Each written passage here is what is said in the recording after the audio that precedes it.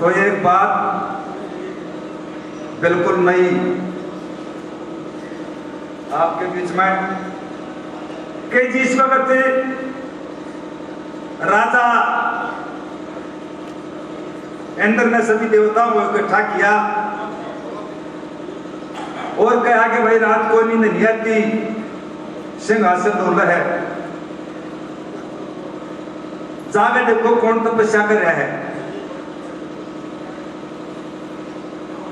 तो नारद जी कह ले के महाराज काली पुत्र विश्वामित्र तपस्या कर रहे हैं। अगर जब उनका योजन पूरा हो गया तो आपके स्वर्ग के राज को ले लेगा।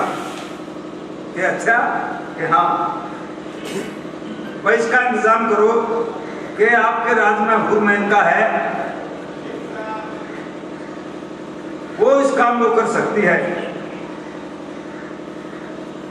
तो राजा इंद्र